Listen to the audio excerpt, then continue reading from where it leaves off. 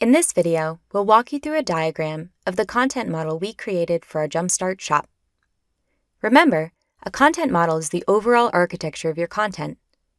It divides up your project's content into chunks we call content types.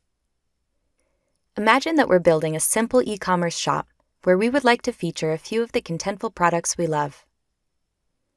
What you see here are four content types with a variety of fields in each content type. Let's break it down and see how each content type is connected. Here we have a landing page that features the product section. The product section can have multiple products,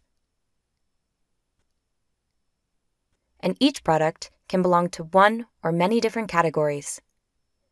Because of this relationship between products and categories, categories are reusable content meaning that instead of manually adding categories to each product, you can create a reusable chunk of content containing the basic category info and reference it within each product. This is a very simple content model. In real life, content models are much more robust and complex. Building it requires a lot of testing and iteration.